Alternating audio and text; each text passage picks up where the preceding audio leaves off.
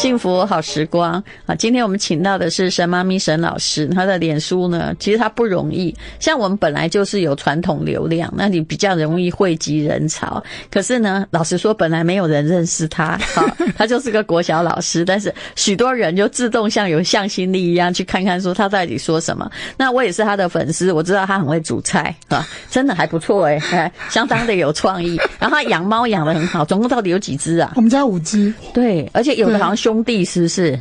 都是呃，只有爸只有公的，一只公的，其他都母的。有两个白的啊，对，两只白的那是姐妹哦。对，那很多人一定也会问你说，哇，你要搞三个孩子，还要养五只猫，他 平常还要骑重机，好像跟老公到处去耍耍蛇这样子。对，一定要的。对，所以我觉得他也很猛哦。你重机不是从小会学，像你妹妹是赛车手，我们都会以为说那个就全家都爱开车，其实也不是，你是后来才开始。有一次他带我去去试车，然后就给我开那个跑车啊。嗯，我第一次开跑车吓个半死哦，然后就慢慢加油，他就说：“你到底有没有踩油门啊？” 我说：“我已经踩很快。”他说：“你怎么怎么会时速二十二呢？”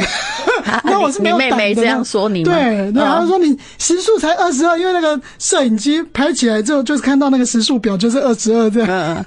其实丢脸。其实我跟你说哈，就是很多人哈就不了解别人的家庭状况。我老公也很爱重机，我弟弟也是。但有一次我老公他去买重机，他真的没有告诉我，而且那个停车位当然是我买的。他停在那里的时候，我想说糟了，我家要多一个重机，我在生气，你知道为什么？因为这个前一个月啊，他妈妈在生病啊，住的医药费他还跟我借，他竟然可以去买重机。但你知道不好跟人家说说，哎，我不是在哎那个重。机社团整个来围攻我，我心里想说：“哎，你应该了解别人的家里的状况，我不好意思家丑外扬，所以我在对这部重机生气，不可以吗？对，哎，我弟弟买重机，我一点都没生气，因为那不关我的事啊。你怎么可以这样在理财啊？算了啦，真的。不过呃，像那个你自己哈，就是哎，有什么你也是一个及时行乐型的，对不对？其实我后来发现说，就是。像妹妹在小很小的时候，心里很不准，对，因为就是会遇到很多的困难。她去复健的时候，我会被复健师念呐，哎，你怎么都没有教啊什么的啊？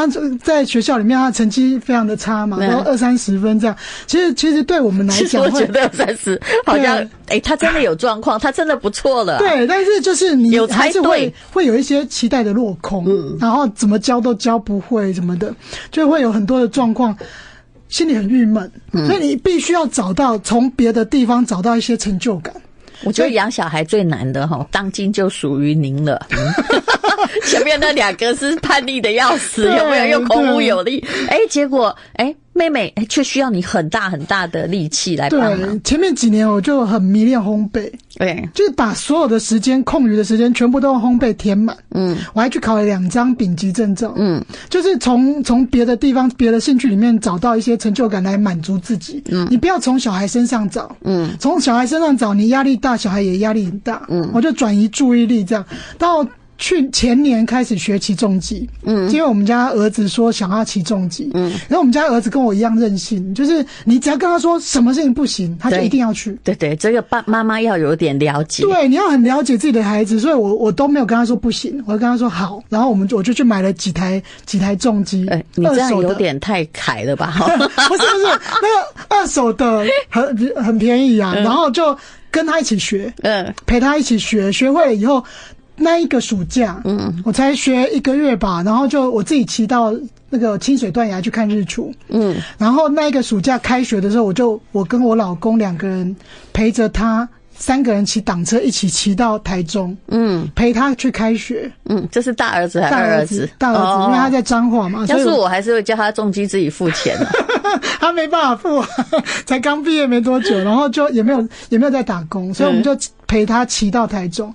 我觉得那是一个很特别的过程，嗯，因为小孩大了以后跟我们比较疏离，是。就没有什么话题，然后他又觉得跟我们讲的听不懂，尤其青少年的男生，他觉得我们听不懂。真的不太会跟妈讲话，对，然后。一讲就是很刺猬这样子哦，讲一句他可以顶十句这样，对，所以那一天那一次陪他骑下去，陪他练车、学车，然后买车，又陪他骑下去，过程很平和。嗯，然后他一直在跟爸爸，只要停下来就跟爸爸讨论车子的事情，至少有个共同话题。对，然后陪他，就就就陪他，就是会跟爸爸讨论说，哎，那台重机很帅，那台重机怎样？那台就是增加很多的话题。嗯，真的觉得重机给他们父子之间的关系。真的就就圆圆圆润很多这样子，嗯，对。其实我跟重基可能也还是有一点仇恨了。我弟弟以前哦，我弟弟小我一岁多诶，他大学的时候就打工买了一个，就看起来不是重机，但是很追风的车。那后面椅背不是斜的吗？就往前斜。对。然后我那时候有一天跟他说：“哎，你可不可以载我去那里？”他就跟我说：“这车哈不是用来载姐姐的，你有没有看到这个斜度是来载妹的？”我说：“好。”然后后来发现，接了两子。对我老公现在在台中骑重机，后面也都载妹，就是我女儿啊。哎，那女儿抱着他，觉得他好开心哦。对，就是那个重机真的不太适合载人。对，其实我们也不想骑呢，我们比较喜欢豪车，就是嘛，又热，对不对？但你还好身材高大啦。但我其实有想过，你知道吗？我觉得应该是来学个重机应该挺好。但我想到我这么小只，重机都比我重，那到时候哈，如果我要扶不起来，我，路倒是不是有八个路人来扶我？我也扶不起来，你也扶不起来，我也扶不起来。你的身高都扶不起来啊，那个很重啊，但是你又不用举着跑。是这样，但问题是哪一天怎样，你脚也要蹬得到。对，就是就是 没有小台的话，这样踩得到底啊，踩到地这样子，不会说你停下来就倒了这样啊。然后呃，我老公就说：“哎呀，你还是骑八十的好了。”我说：“那没有五十吗？”他说：“现在没有五十，买不到。”好，我们待会儿再来聊。那你今年的就努力就可以达成的三个愿望是什么呢？没，我要我要去环岛啊！哎，对啊，就去年本来要去环岛，对对对对对，去年本来要去环岛，然后就那暑假的时候就。就就其实那个环岛，你就会觉得哇，这个这个好远，好好累的那种感觉。后来就没有去，就只有到台东。嗯，那我有有点后悔，就是我到十月的时候脊椎就开了刀。嗯，然后就啊天啊，脊椎开了刀，然后那时候医生跟我讲，怎么有严重到要开刀吗？对我脊椎滑脱，就是八月底的时候。停车子停好，然后就倒了车，倒了以后你看我说的悲剧发生了吧？我不是摔车，我是倒车，就停下来以后屁股就瞪在头壳，然后就那个脊椎有点突起啊，嗯，对，然后就呃整个九月超痛苦的，嗯，那个腰直不起来，你就看到一个一个。一个沈老师啊，弯着腰，好像老人一样这样走路。后来就就去开刀，嗯，对，然后医生就说有至少半年不可以骑车。哦，我想天哪，怎么办啊？就就不能去环岛了呢？结果我那时候很后悔，为什么暑假的时候没有去？你应该是后悔骑车吧？不是后悔暑假没有去。然后二儿子就说：“啊，来吧，那辆刚好给我。”他自己有一台啊。哦，还有，停车库刚好放四部重机。对对对，我们我们车库里面有四部，然后现在外面还有两台，他们暑假回来这样，寒假回来有。你付的代价很大哎。你还笑这么开心，对，很开心。所以今年、去年没有完成的，我今年一定要去。重机除了跟小孩就是有了共同话题之外，对你的乐趣是什么？就陪我们家老公出去啊。刚开始他其实其实你知道，就是你坐后座的时候其实是不舒服的，嗯，因为你以前以前我们在年轻十七岁的时候坐他的重机哦，是是可以整个人趴上去的。好，我懂，因为不用戴安全帽，对，整个头啊身体啊是整个抱上去的这样。可是现在有安全帽，两个会撞在一起。原来真所以就变成你做那个重击的时候，你只能扶着他的腰啊，后面就是摇摇摆摆的，腰好酸啊。哦，所以我就不爱跟他去。所以他每次就是他之前。一个人骑重机的时候，哈，他骑出去，其实我都在想说，你是去载谁？哎呦，你后面到底坐了谁呢？结婚怎么这么爱骑呢？超过二十年了吧？你说我们呢？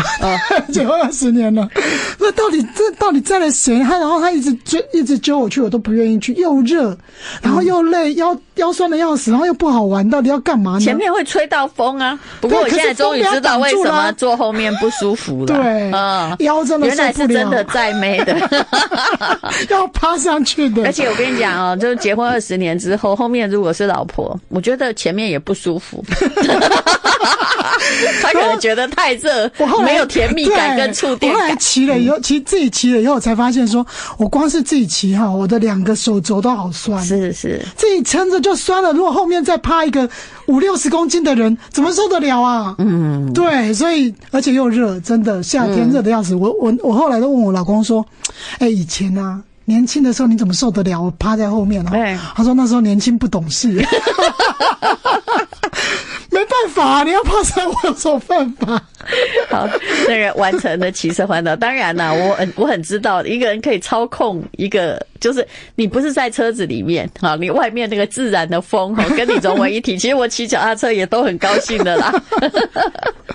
他祝你完成骑车环岛。那第二个愿望是什么呢？嗯就希望我们家妹妹考上高职吗？嗯，请问有这么难考吗？现在的学校不是都是要保送，可以保送，可以聊一聊不。是不是，他他因为他是特教班，所以他有升上高职有一个综合职能科。嗯，那基隆的公立种植综合职能科只有三个三三个学校，然后他又要考笔试。啊，刚开始我们家妹妹不是特教班嘛，还要笔试，对这样不是很折腾吗？笔笔试五十题这样子，要好像是五十题的选择。可有的特教生是连，就像如果是自闭症，他是比较重度一点，他连那个都看不懂、他们可以欸直接进到特教学校。哦啊，，可是我我我我们家妹妹自己说，她想要去就是另外两个综合职能科，是。所以就需要笔试。刚开始我就觉得很难，他就不会写字啊，认不得字，怎么、嗯。怎么去考呢？然后就是后来我呃有一次有一次他们老师就发给他那个考古题，嗯，然后老师还跟我讲说，妈妈你不可以教他，你哎让他自己写写看，嗯，然后写完以后，我们再到学校来，我再我再一题一题教他这样。然后拿回家以后，我就说妹妹，这个老师说要你要自己写，他说我怎么可能会？嗯。我说不行啊，老师说我不能作弊，你要自己写哦，三分钟写完五十题，嗯，一二三三二一有没有？乱写一通，这个这现个头好痛他。答案要是我就会跟他说，不然你干脆都写三好了。啊，他他就都乱写一通，我就说妹妹，你这个答案太离谱了吧？他说我就看不懂啊，所以我那时候其实是放弃的。嗯，我觉得这个这个小孩就他就看不懂，你不要逼他嘛。所以可是后来我们决定就是找一个家教，嗯，就是带着他慢慢的去去，至少可能有些题目可以用，呃，可以。就就是带着他练习这样，嗯，就没想到那个才隔一天哦，家教老师带着他去念那个题目，嗯，才发现他会念题目。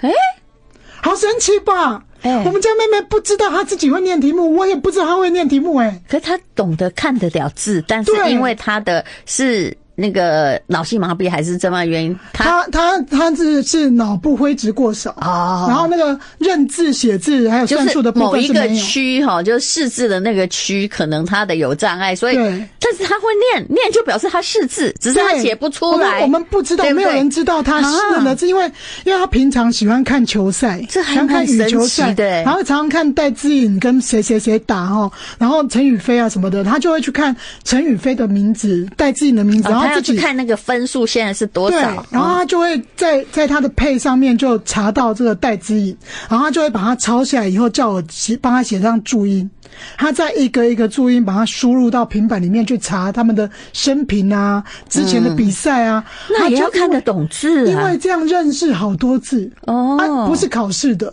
所以他在这这这个过程中得到很多的成就感，然后兴趣。可是我知道这样的孩子就是他字都认识哦，他可能也理解那个意思，但是要叫他选那个问题或什么判断那个是非逻辑很困难。所以我后来我我们发现说他可以念念题目，哎，结果我就我就带着他说，好，妹妹你现在念第一题，他没有办法每一个字念出来，是是。他可能十十个字里面可以念六个字、七个字，嗯，但是大部分的意思他也就懂了，嗯，哎，就就会了，所以我们就就想说，哎，如果说他可以自己读题了，当然。嗯当然，英文还是不行啊，数学还是不行，嗯大概有三分之二的题目是不行的。因为他是在习惯中去学习的，对就日常生活中的再三的反复印象的学习。对，所以我们就请家教一个礼拜来两次，是带他念题目。然后很多人就说啊，你自己是老师，怎么不带他念？妈妈真的教不了，我非常明白妈妈有真的，多妈妈真的。教不来。你只要念个三遍，读不懂，这妈妈火就来了，对 脾气太坏。而且你会觉得说，妈妈万一给气死了哈，中风了，你以后谁顾？所以我们还是不要中风的好。好，我们待会儿再聊。幸福好时光，有关于妈妈教不来这件事，你真的不用自责。我老实说，不管老师多不会教，老师都比我有用。而且妈妈自己是老师也没用，最重要是她的老师说什么，对不对？妈妈哦，现在就到青春期，有一阵子就是我这样跟她说，都不能问哦，连功课写好了没？我有就白眼，我心里想说，我怎么养的是白眼狼啊？怎么会这样子？还有，我真的当时真的充满爱，从五岁的时候开始教他唐诗。就就算我在国外，我都努力的飞回来，然后为了怕他无聊，因为独生子女嘛，我就把那个邻居左右朋友小孩啊，我都开免费课程，还提供奖品、奖金，还有礼物，还有晚餐，然后所有邻居的小孩都来学了，结果发现。这样是比我一个人教他没有被白眼，因为那个时候我是老师，我还教着别的学生，但其他的学生的吸收率哈，就算小学一一二年级的都比他快。对，真的，别人家小孩怎么这么好教啊？对，就就。就是哎，那个家教老师回馈的也都是哎，他进步很多嘞。所以你看哦，就是我不用气个半死，然后家教老师可以教他懂，然后还可以回馈说啊进步很多，你看我多开心。这个是机会成本交换的问题，真的。也就是说哦，就算你有时候哦，有时候人会这样算，我觉得那个都是女性错误的算法。比如说我现在去工作，那我的那个呃赚的钱只有三两个孩子好了，保姆费可能都不够，对不对？对。那我是不是要提？停止工作，然后去教小孩。其实这个考量是不对。我们家老公就是这样说的。对，他是跟我同样的算法嘛？对不对？还是反面算法。当时我们家老大老二差一岁，嗯，所以那时候的那个保姆费要三万，是再加上奶奶粉、尿布啊什么的，加一加，哇，四五万哈。对。然后当那时候我我我才刚刚开始工作没有多久，对，所以薪水大概也是三四万、四五万。他就说。天哪，这样子哈，你干脆就留职停薪，在家里带小孩。我说我才不要，为什么不是你留职停薪呢？啊，你有没有算的多啊？你有没有算？你有没有算过？你有没有算过哈？扣掉保姆费 三万块以后，我的钱还可以买奶粉、尿布。可是如果我留职停薪以后，那个。虽然三万块留下来，可是奶粉尿布还是要买啊！你会不会算啊？你 其实我的算法不是这样，我是长期主义者。我的算法哈，我是现在各位女性朋友，你听清楚。如果有人要叫你这样，但你除非你真的很恨你的工作，那你可以思考。有些人真不适合职场啊，我也承认。但如果你是一个适合职场，而且在职场上有野心的人，我求求你不要这样做，因为不是钱的问题。对啊，为什么呢？因为第一，请问你当保姆。是个很好的保姆吗？我肯定不是嘛。对，我想你也不是。那么给你三个小孩，你可能把自己搞得对鸡飞狗跳，对不对？可是给别人带，也许小孩还比较安全，是这样子。因为你有的人训练多好，对，有的人训练不来。如果你可以找到很好的保姆的话，第二啊，你的中断职场。那你会整个人变得很无聊，像我是一个只要一失业或没事做，我很可能会得忧郁症的那种人，所以我一定要有工作做。就算你用你的四五万来换那个两个小孩的四五万，我认为这是划得来。为什么？因为这是短期的问题。对。但你的人生是一个长期主义呀，那你长久以来是不是？哎，你现在如果中断职场，你后来可能还要从三万开始。对。甚至我有很多朋友，真的康奈尔大学啊，北女、台大、康奈尔，后来他就是。家里有钱呐，但后来家道中衰，然后嫁了一个老公也很有钱，她就心里想，我就还是不用做嘛，对不对？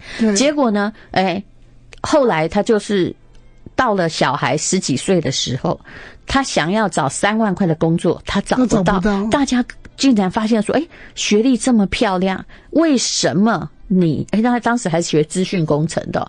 你觉得这个一格就没有了，你知道？对，就为什么你都中间没有过程？后来他不敢写他的硕士学历，就是把自己的学历写得越低越好，希望人家给他这工作。但是你会遭到很多冷嘲热讽，说：“哦，你当时就是因为家里有钱就不需要工作，那现在就也不需要工作，跟不上了啦，跟不上时代。”其实我那时候我就问我老公说：“你要想哦，那那个奶粉尿布钱哈，我要伸手跟你拿钱。”你受得了我这样一直伸手跟你拿钱吗？他说：“哦，还是不要好了。”然后还要跟他说：“我其实很唠叨哦，你孩子我也未必可以照顾的非常好。”的时候，有没有觉得像你这样继续当一个老师，在你喜欢工作，而且你哈人生的价值其实是在某些社会的。就是功能上面，对你还有社会功能。对对，所以所以就是，呃，我觉得有的时候老公的说法真的要去。说服他了，是就不要有传统思想，因为很多东西不是钱的问题，是长期你怎么看的问题。这就跟有些人哦，明明你有足够的钱嘛，你一定要一直租房子，你觉得租房子买房划算？我心里想，你到底有没有算错？就算里面的钱差不多或一样，可是人家二十年后是拥有一个房子，那房子可以用来贷款，而你付完了呀。我一直跟我老公讲说，我好想退休，我现在就退休，你养我。他说不要不要不要，还是继续 继续工作。有些女人在家里也是个灾难，很恐怖。我就觉得。那是个灾难，我自己知道。光是寒暑假，他大家就受不了了，因为真的对，就是就是会有很多的那个出逃，有没有？想东想西，然后很多时间看重机，买这台买那台，这样很恐怖的。而且呢，如果不让我做很多事情，我还会找人家麻烦，会看别人不顺眼。比如说，你怎么睡到现在还没起床？有没有？真的。好，那我们等一下再聊。那个沈妈咪、沈老师、沈雅琪还有一个愿望哈，那个什么叫让工程师把奖金分我一半？这是干嘛？这是写给老公的暗示吗？对对对，我他每个每年的四月会有一笔奖金啊。对，烤鸡奖金，台积电的哈，他不是，他外商的。其实我一直不知道他到底是哪一个公司，我只知道他四月有钱。我在在文章中，你的状况跟我一样，我其实根本不管老公在哪个公司，我只知道他就是他就是做那种 就是跟那个电业有什么电之类的公司。对对对对，因为你我也不懂啊，对，而且我懂，对你也没有比较幸福啊。刚开始问他说：“哎，你们公司做什么？”他就讲一堆哈，然后我就说：“嗯，听不懂。”好，从此以后。他都不讲，所以有很多人问我说：“哎，你们老公到底是做什么，在哪个公司？”我讲不出来。就是个工程师嘛。对，他就是工程师。然后他四月会有奖金，所以我就会四月发奖金，让他大家可能可以 Google，看起来好像挺多的哈。呃，要看那个前一年公司有没有赚钱。其实现在最近，我认为台湾的科技业整个景气是挺好的哦。真的，嗯嗯嗯嗯，这两年还是可以，所以要有一点期待。是因为会发我分我多少？你没有看那个商业周刊呢？哎呀，我一不贴都去。也就是说，来你看封面哈，跟你讲，因为现在台湾在赚那个 AI 时代的钱。嗯，辉达、联发科抢进，大小台厂都能吃到，看到了没有？嗯，他都不是这几家的。边缘运算十四兆市场爆发，但是我也都假设我老公应该可以分得到。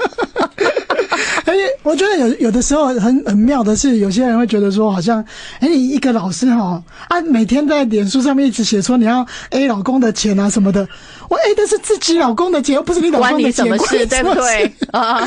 对，有些人就会管很多。哎呦，跟你讲，不是那管很多，你只要想到我的遭遇，你所有的痛苦都不会很痛苦。哎，你知道我同学真的很很糟糕哎，就就好久没见，出来讲说啊，你老公呢？我说他在工作呀。就是，而且他现在这个到台中派到台中去了，就没有，就是没有住在这里。他就会说：“哎呦，你为什么不叫？”他这个帮你当司机就好。我说我跟你讲哈，你以后在我们家，我很直球对决。你以后哈也不用再来我们家，你非常不受欢迎。你凭什么来支配我们家的前途？你觉得我会喜欢一个失业男子当老公吗？每天就在家里。对我老公不是没有失业过，我真的觉得说，我那时候看他是无比的讨厌，真的讨厌到受不了。嗯。因为 因为女人没工作，那个眼没眼神无光哈，对不对？唠唠唠地唠叨已经可怕啊！男人，因为他们科技有时候常常裁员啊，或者怎么样啊，那真的很可怕，你知道吗？你就看到他那没有名片的日子，好像一条 一只不是无头苍蝇啊！其实，就我觉得，这认真的人最最美最帅，真的每天很就是打扮就是。穿的这样子很笔挺，这样出门，哇，多帅啊！然后是不是男生就喜欢有一点虚荣，就会说：“哎呀，呃，这次的展览我派我的手下去了。”我就想说，对他们一定要有感觉，好像那个帮派有没有？就一定要有一些手下去做，他就是言语之中还要呈现那种威风，不然哈，实在是，哎，尤其哈，哎。很多人又喜欢问他，就说：“哎，有这种老婆，你压力大不大？”我真的跟你说，以后碰到我老公哈，还在问这些话的人，就视同诅咒我的婚姻 啊！那你就知道，我也会只求对对决，说好不然问到喜门过来啊。我也常问我老公说：“哎，你同事认不认识我啊？他会不会给你很大的压力啊？”他说：“我哪有时间呢？哪有时间管这个聊这个啊？都 忙得要死。”跟你说，工程师比较好，真的，搞不好他在无尘室里面工作，也看不到人，他在做什么。但是就是 gossip 比较少，嗯，如果是一般的，事实上学校是 gossip 很多的地方，就工作越固定，越就是有常规性，嗯，那种同事之间的闲言闲语最多。我也不知道呢，嗯，因为其实我都。呃，每天就是电梯停好车以后，电梯上三楼进教室，对，只有上厕所才出教室。你都在应付这堆小鬼们，对，都没有出去外面聊天，所以其实我也不知道是别人讲什么。呃，其实有的时候有很多时候，就之前有人问我说啊，你会不会很怕人家排挤你？我说怕人家孤立哈，就先孤立自己。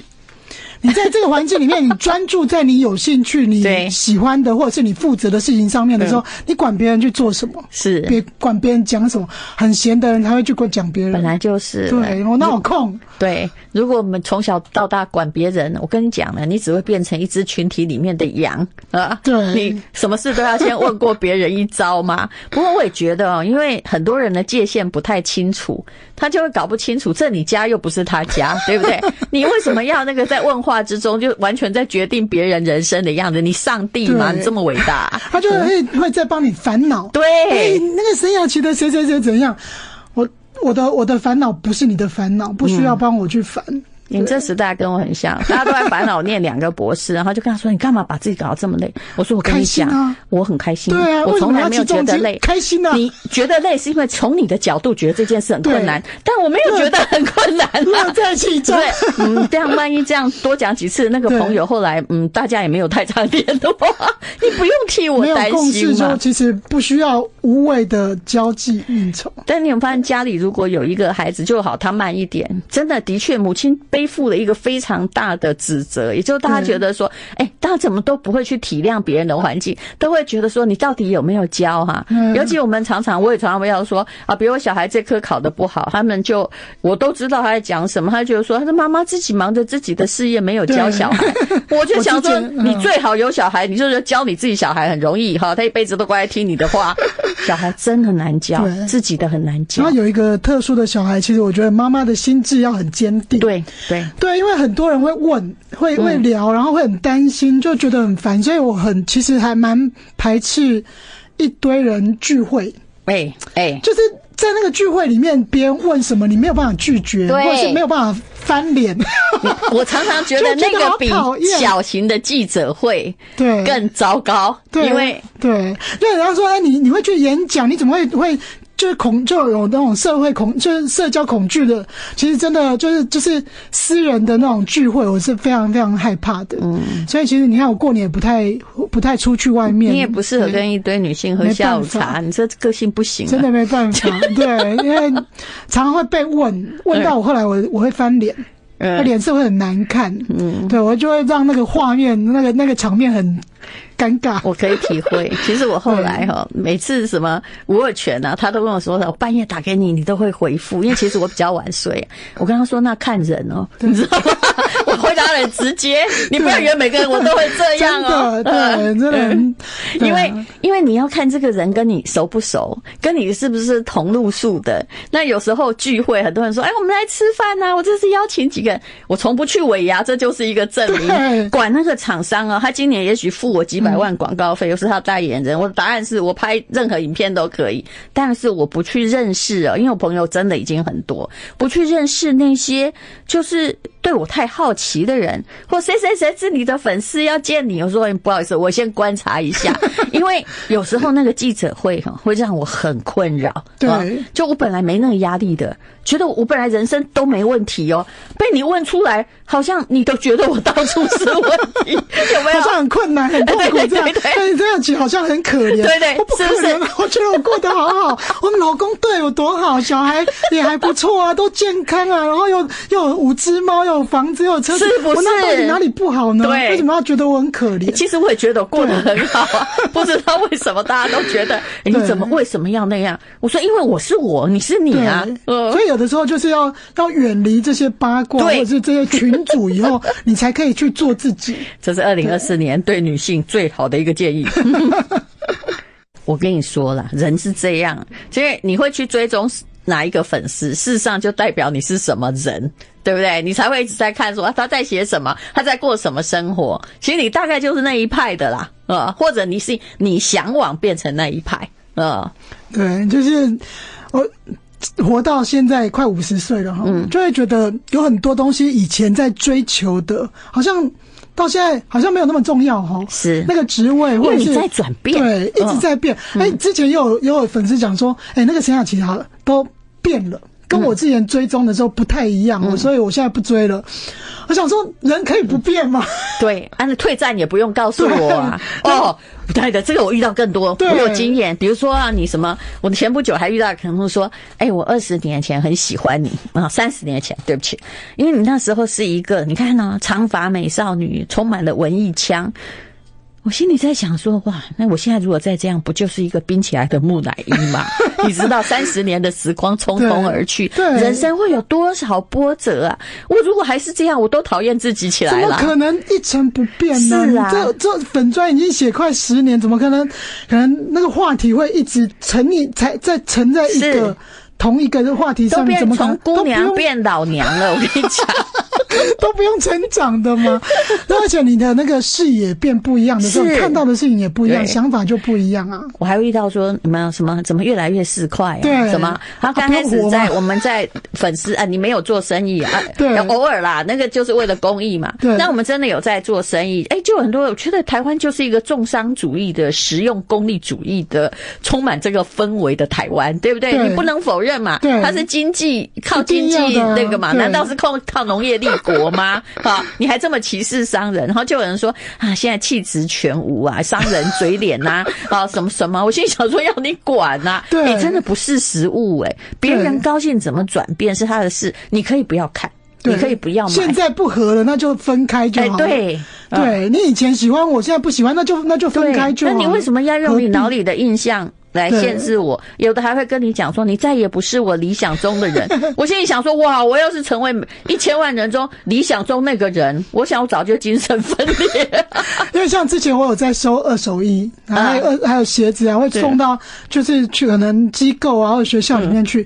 其实，在做的时候，你会有一些体悟。是哦，整理二手衣真是灾难。嗯，痛苦，嗯，那没有人没有人理解这个痛苦，对，只是想要把衣服送出来。还有我去送的时候，我看到机构上面的现状，嗯，也会有很多很多的感受，所以我后来。不做，其实很多机构现在也不想收二手衣啊。对，就变成说我收了以后，我要去拜托人家是收这样子。所以其实在这这耗掉我太多的能量。是，所以后来我不收，那人家就讲说啊，以前都收，以前都做公益，现在不做了啊，要不然你来做做看。对，没有那个是没有经济效益的事情，他们还比较希望你捐钱。真的，对，因为你只要一开放捐，什么东西都来了。对啊，反正你们到时候会整理，我只要不要的，通通送去，那你们。会整理，你就会变沈老师回收场。对，真的堆到离谱，真的收到的东西什么都有，什么样的状况都有。是对，那个连牛仔裤底都破掉也寄来给你，反正你们可以缝一缝。对，我哪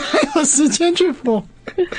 其实每个人都在转变之中啊，然后要选择重要的事情去做。嗯嗯，别人讲的都是至理名言，其实人生就是这个样子，而且每个人有他自己的时间分配，他在每个阶段想觉得重要的事情或许不一样，对，会转变，然后可能会可以找到。更重要、更及时的方法去做想要做的事。嗯，对。好，那祝你今年的三个伟大的愿望都达成。实现。但我觉得你老公真的会分一半给你吗？呃，有的时候一点点，我觉得应该是会。有一年，有一年他只有给我五万块，我说：“哈，你为什么只有给我五万？”他说：“小姐，别人五万都没有。”我说：“我不管别人，哎，你不要这样。经济那个有时候哈，他们科技业也会有不景气的时候。不景气的时候，那最多你拿到多少？这个可以讲吗？可以啊，好像有五十万吧。然后大家羡慕一下，有吗？没有。我跟你讲，我还是很羡慕，我连五万都没拿过。从今年开始就要分一半。算了，我怕他回来，这个嗯，我会付更多。拿去。我通常要不要拿一个人的东西哈？尤其是比如说厂商哈，我现在很商业，就说我那个我要不要拿一个人东西？我要去看看将来我要不要付更多。我不用，因为我的都是他的零头。好，非常谢谢沈雅谢谢琪沈老师，谢谢。